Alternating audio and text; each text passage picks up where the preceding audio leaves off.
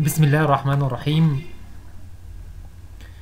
النهارده آه، دكتور تامر البديوي أستاذ مساعد الامراض البطنة وأمراض الدم وهنتكلم في أربع محاضرات بإذن الله عن ال bleeding disorder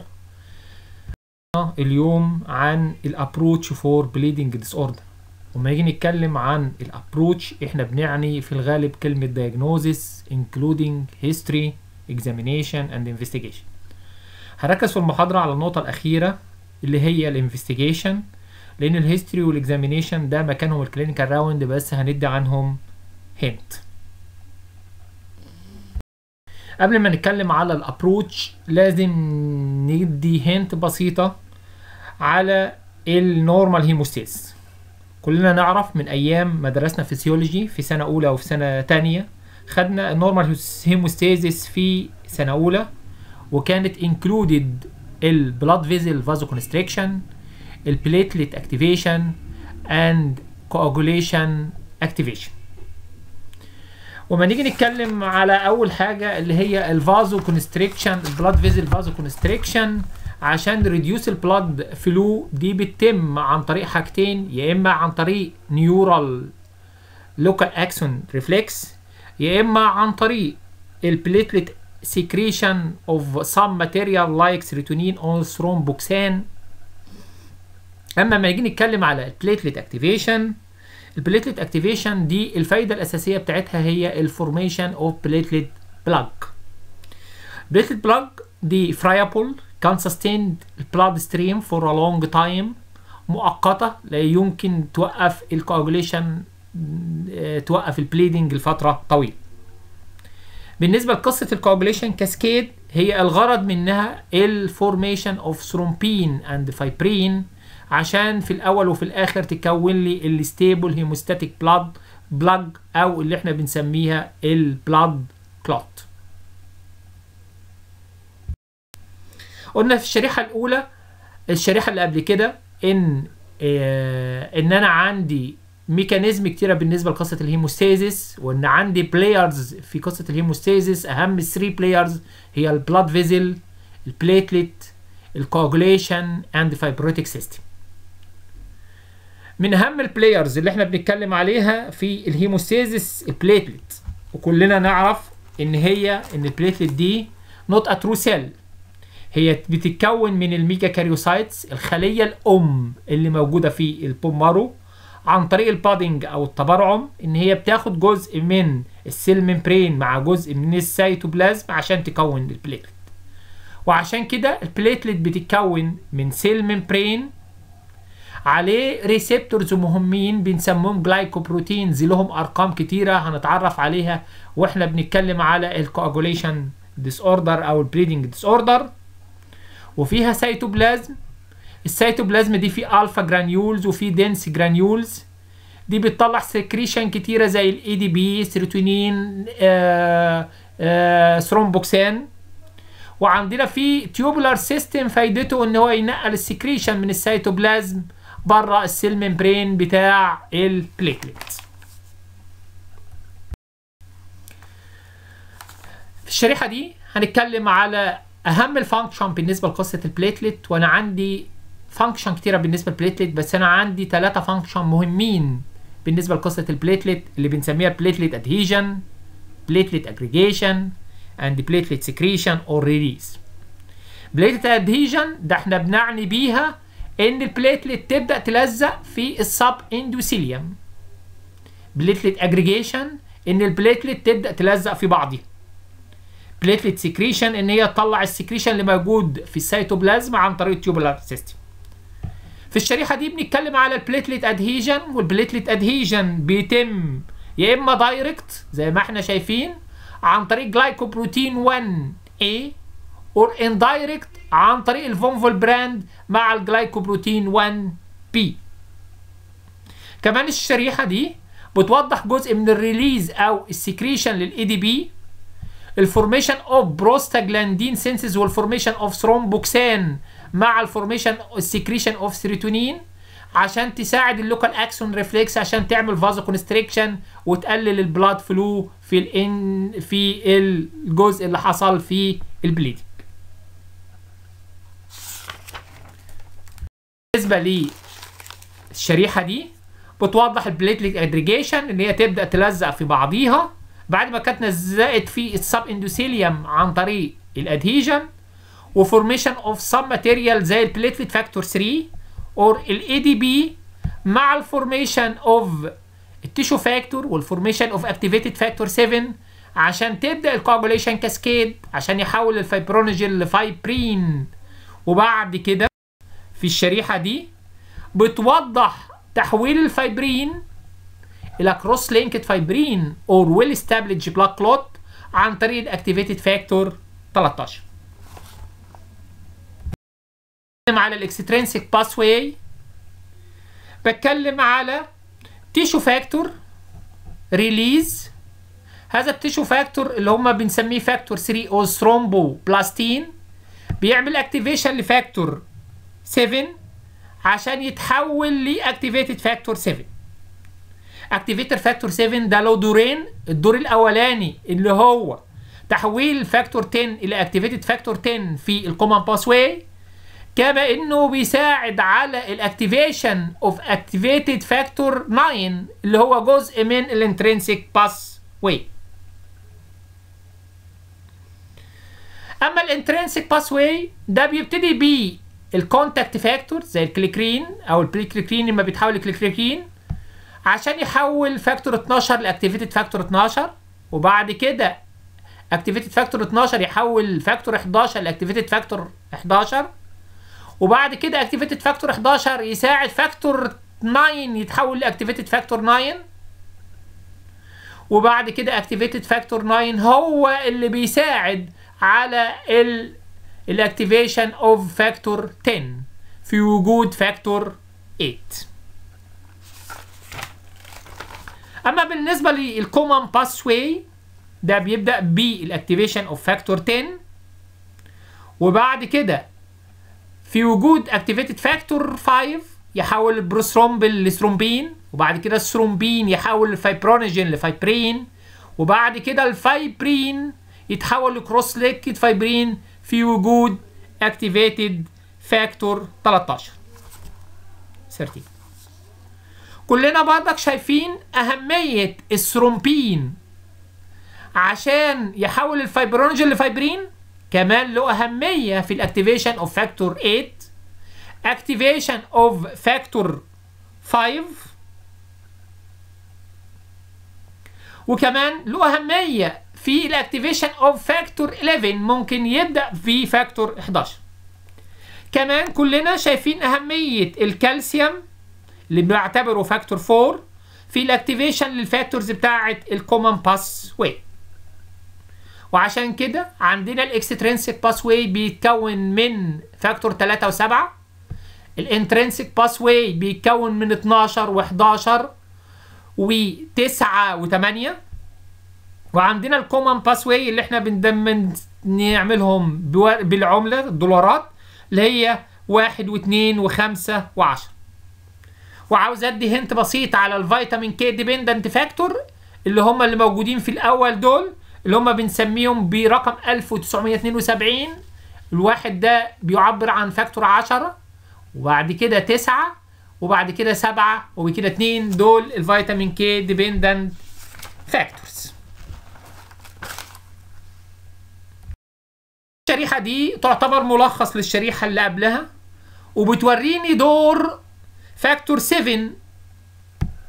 في ال activation لل common pathway factor 10 كمان لل activation of ال intrinsic pathway عن طريق ال activation of factor 9 كما انها بتوضح اللي هو الجزء اللي إحنا قلنا عليه أهمية ال thrombin of activation of intrinsic pathway اللي هو عن طريق activation of factor 11 وعشان كده الثرومبين له أهمية في ال activation لل fibrinogen يتحول لفايبرين 11 يتحول ل activated factor 11 الخمسة يتحول ل activated factor 5 والثمانية يتحول ل activated factor 8 والحكمة ربنا إن هو مش بيسيب ال coagulation cascade دي حرة إن هي تكون blood clots وإلا كنا كلنا فوجئنا إن مجرد إن حصل فيه injury في blood vessel إن هو اتسد ويتكون blood clots ما قدرتش أتحكم فيها. وعشان كده ربنا خلق لنا two system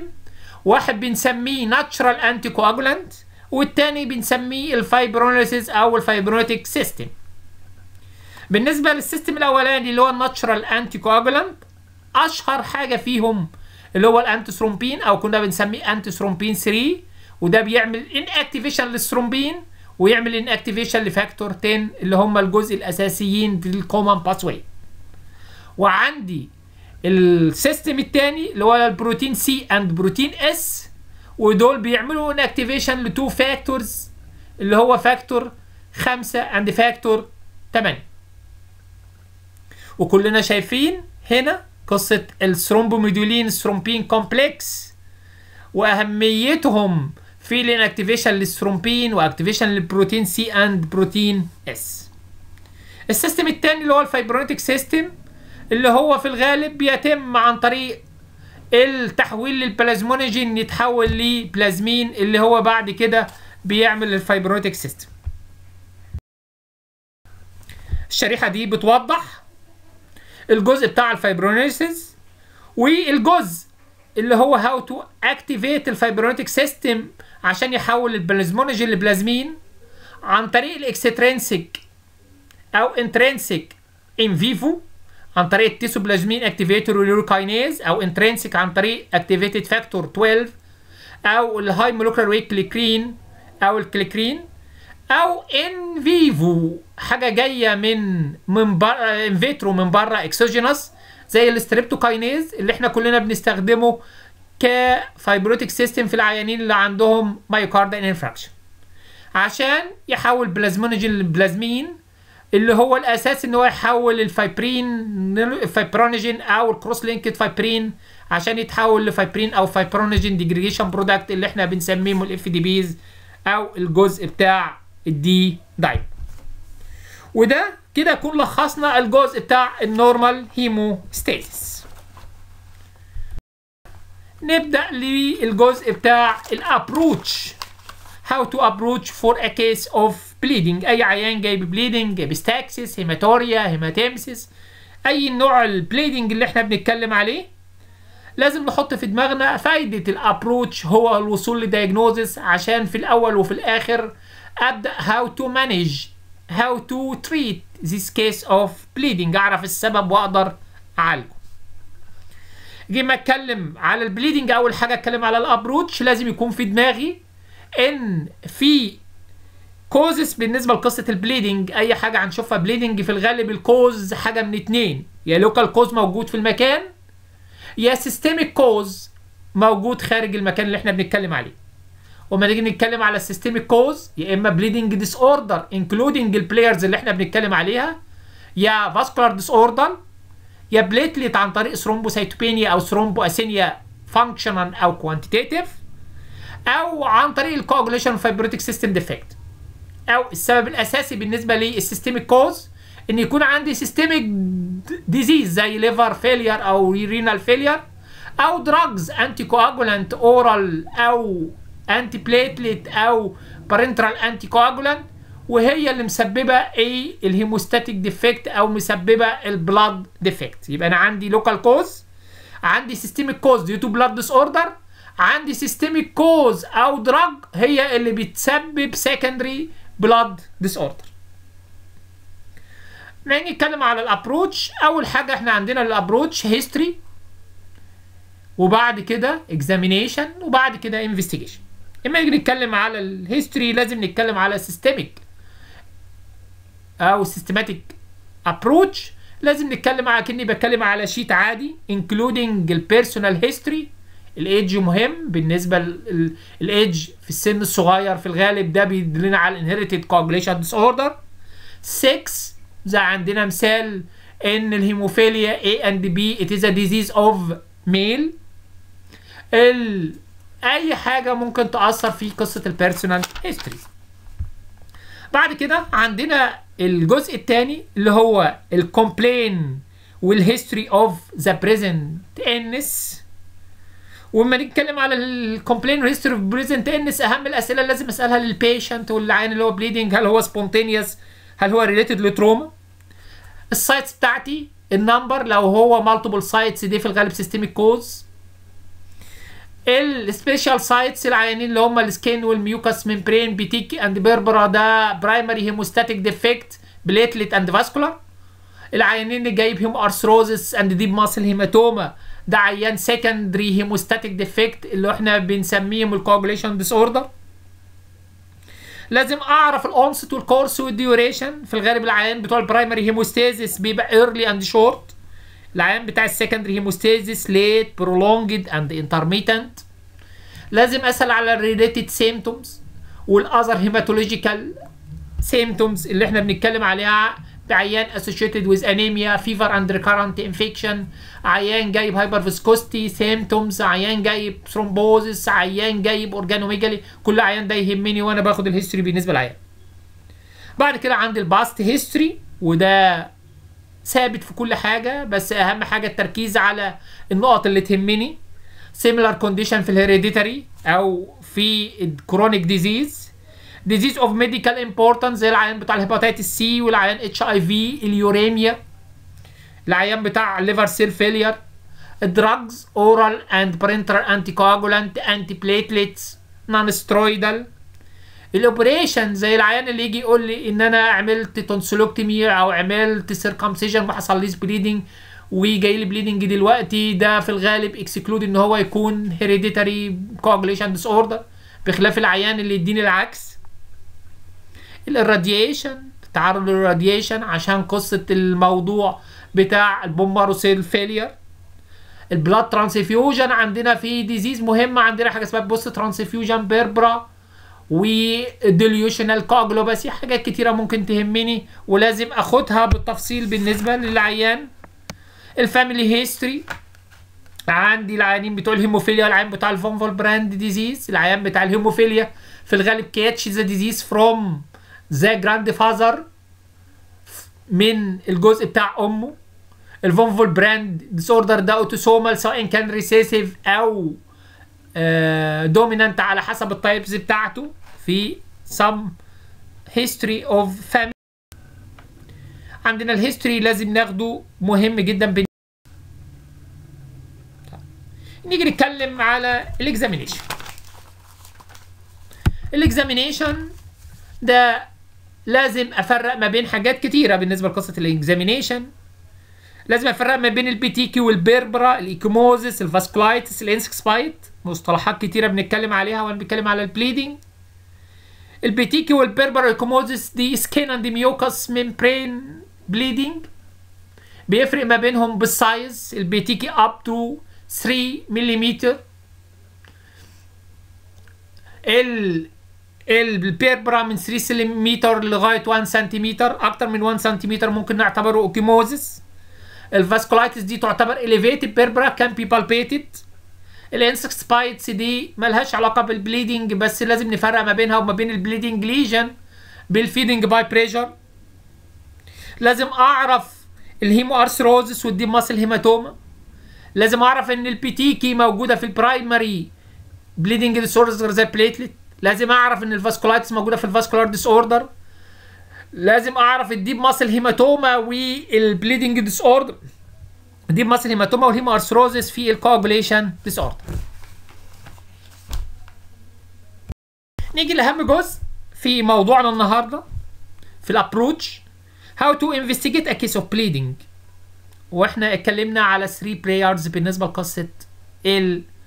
hemostasis اتكلمنا على vascular blood vessel اتكلمنا على platelet واتكلمنا على coagulation و fibrinolytic system وعشان كده ال investigation بتاعتي بيكون في اتجاه ال three players أول investigation test for ال vascular disorder وأنا عندي two test bleeding و Hess test كلنا بنسمع عنهم وبنسمع عنهم من زمان. هما crude test not specific not sensitive في الغالب ما بيستخدموش في دول كتيرة من العالم. ماشي. أشهر ال test دي هو ال bleeding time وكلنا كنا بنعمل ال bleeding time. ال bleeding time ده it is the time of stop bleeding. ده ال definition بتاعه. له أرقام كتيرة على حسب ال methods اللي إحنا بنعملها. أشهر ال methods إن إحنا كنا بنيجي على ال ear pinna ونعمل pin prick دبوس ونشك بيه ال patient نطلع منه نقطة دم وكل ما نقطة الدم تطلع ننشفها بورق نشاف أو منديل ورق لغاية stop وده stop it is the time of stop of bleeding. ممكن تتعمل abrasion في ال forearm طرق كتيرة ممكن نعمل بيها. وده indicator لو هو في prolonged إن هو عندي مشكلة في ال primary hemostasis سواء كان thrombocytopenia thrombocytopathy or vascular تاني test اللي هو ال Hess test أو ال capillary resistance test كلنا كنا بنسمع عنه في الفسيولوجي إن أنا كنت بجيب ال cuff بتاعة الجهاز الضغط وألفها زي ما بلف قياس الضغط وأرفع الضغط داخل ال cuff دي ما بين ال systole ما بين ال diastole سي إن أنا عندي ال systole ال blood pressure بتاعي 120 80 برفعه عند 100 وأخلي الضغط ده في ال forearm لمدة خمس في ال arm لمدة 10 خمس دقايق. وارسم دايرة في ال antecubital fossa حوالي 5 سم وأعد بعد الخمس دقايق دول أشوف ال petechiae اللي هتظهر في ال antecubital fossa لو هي أقل من خمس نقط ده بتعتبر normal لو هي أكتر من خمس نقط ده العيان عنده vascular disorder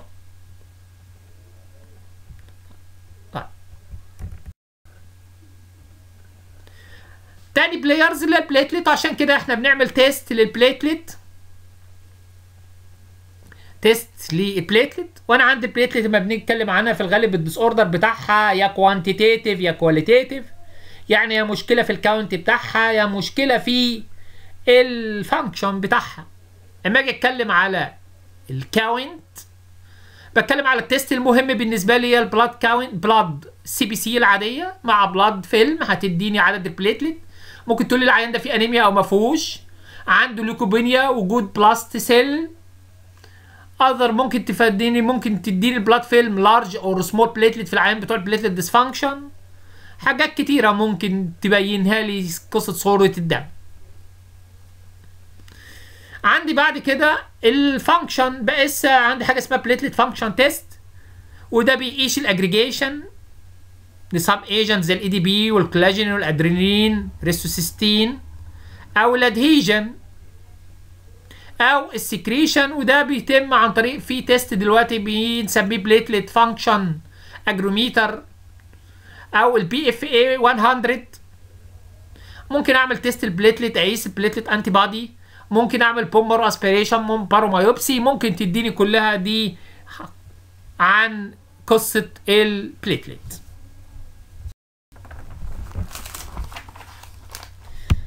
بعد كده ال players الثالث اللي هو بنسميه ال coagulation disorder وهتكلم على ال coagulation disorder ما يجي يتكلم على ال coagulation disorder أنا عندي قلنا إن في extrinsic و intrinsic و common pathway ك crude test بنعمل ال clotting time clotting time ده crude test بيتعمل. وبرضك not specific not sensitive لسه إحنا بعضنا مصرين على عمل ال clotting time كنا بنستخدمه في متابعة العيان بتاع الهبارين. كنا بنجيب العيان بنشكه في صبعه أو في أي حتة ناخد منه نقطة دم نحطها على ازازه وبدبوس نقعد نحركها لما تكون ال blood clot it is the time of formation of blood clot لكن أنا عندي في test مهمه أو اختبارات مهمة بالنسبة لي لل assessment of coagulation أول test هو ال prothrombin time وده بيعمل assessment لل extrinsic pathway وده بيتعمل إن أنا بجيب ال patient أسحب منه عينة الدم. لو سبتها عادي هيحصل لها blood clots عشان كده كده بحط لها citrate هذه ال citrate عشان تسحب الكالسيوم وتوقف ال coagulation cascade باخد ال ال citrated blood واعمل لها centrifuge اعمل discarded لل RBCs يبقى لي البلازما. دي بلازما بدون كالسيوم. عشان احفز ال extrinsic pathway يبقى لازم أحط له الحاجة اللي بتحفزه اللي هو ال tissue factor اللي هو factor 3 وعشان ما عنديش كالسيوم بحط معاه كالسيوم من بره. كده ال coagulation cascade هتمشي في قصة ال extrinsic وال common pathway لو ما مشيتش يبقى أنا عندي مشكلة في يا extrinsic يا common pathway يبقى أنا عندي مشكلة في factors كام؟ يا في سبعة اللي هو extrinsic يا في ال common pathway اللي إحنا قلنا عليهم واحد واثنين وخمسة وعشرة. ماشي؟ دول العيانين ده المشكلة. اللي بتقابلنا. ال prothrombin time ده prolonged فين؟ عيان اللي بياخدوا oral anticoagulant العيان اللي هم عندهم vitamin K deficiency ال liver disease ال DIC ال disseminated intravascular coagulopathy ال deficiency of factor سبعة سواء كان congenital أو inherited يعني أو acquired على حسب اللي أنا بتعامل معاه. وقبل ما نسيب الجزء ده لازم أعرف إن في حاجة اسمها prothrombin time اللي إحنا بتاع بنتكلم عليه دلوقتي وفي حاجة اسمها prothrombin activity وفي حاجة اسمها INR نتيجة إن أنا بستعمل tissue factor من بره وال tissue factor ده مختلف من معمل للتاني ممكن يديني أرقام مختلفة بقصة ال prothrombin time وعشان كده حاولوا إن هم يعملوا حاجة اسمها prothrombin activity وده ratio ما بين البروثرومبين تايم بتاع البيشنت البروثرومبين تايم بتاع الكنترول ودول more specific زي ال prothrombin time لكن برضه وجدوا إن هو not accurate بالنسبة لي. فعشان كده اخترعوا حاجة اسمها ال INR أو ال international normalized ratio ده ratio ما بين البروثرومبين تايم بتاع البيشنت البروثرومبين تايم بتاع الكنترول مرفوع على اس معين بيسموه ISI مش مهمين مش يهمني الاسم إيه بالظبط. بس ال ISI ده بيختلف من tissue factor للتاني وعشان كده more specific وعشان كده إحنا بنستخدم ال INR في ال control of oral anticoagulant اللي هو ال warfarin تاني test اللي إحنا بنتكلم عليه اللي هو ال activated partial thromboplastin time أو ال aPTT أو ساعات بنسميه ال PTT وده بيعمل assessment لل intrinsic pathway بيتعمل إزاي؟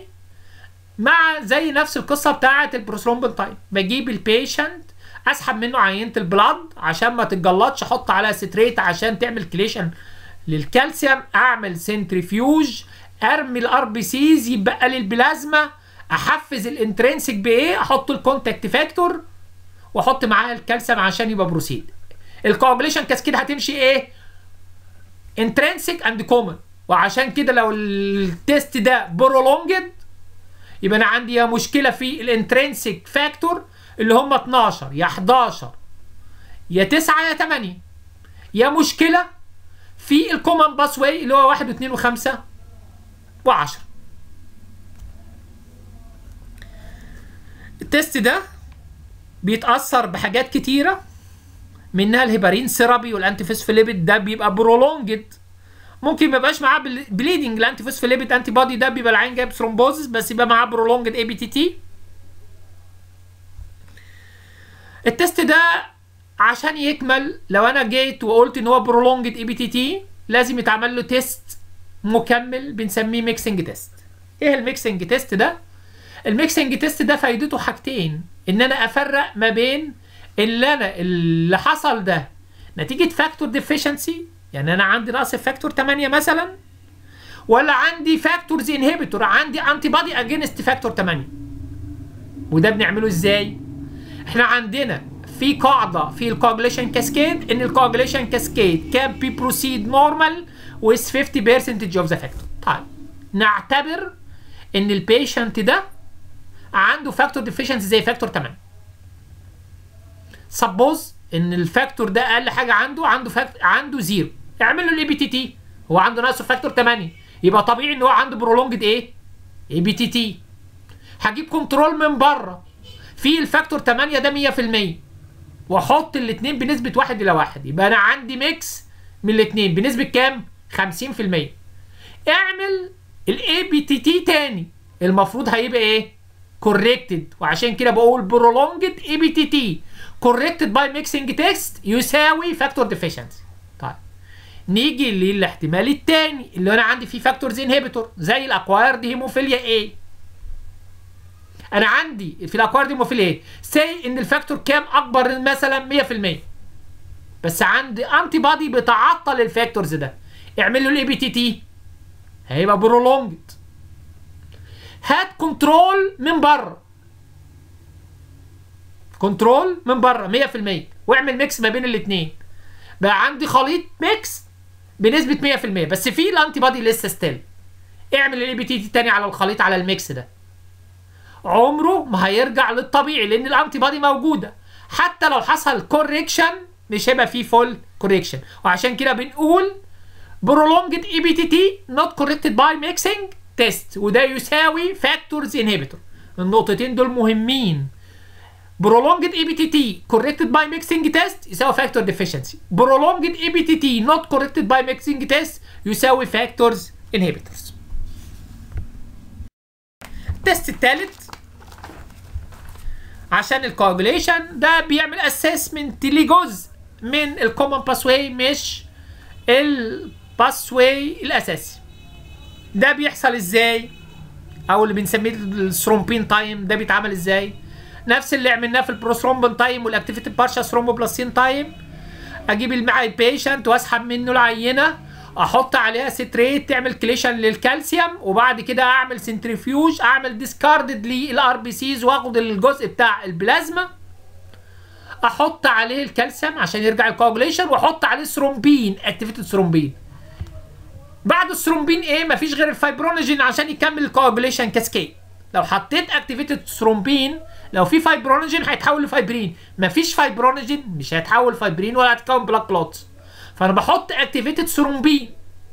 لو اتكون black clots وفي time اللي أنا عاوزه يبقى أنا عندي normal fibrinogen level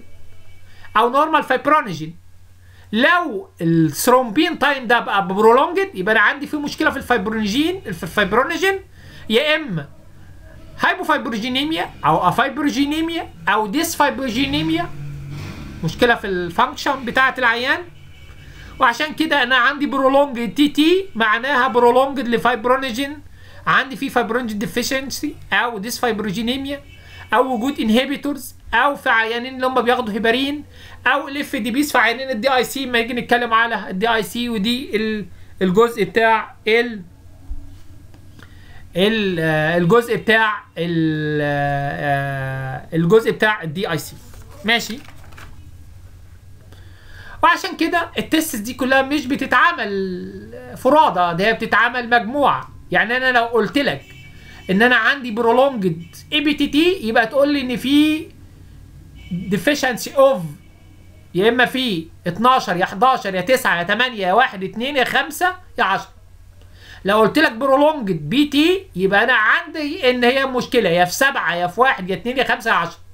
قلت لك prolonged TT يبقى المشكلة في كام؟ في واحد only اللي هو ال fibrinogen.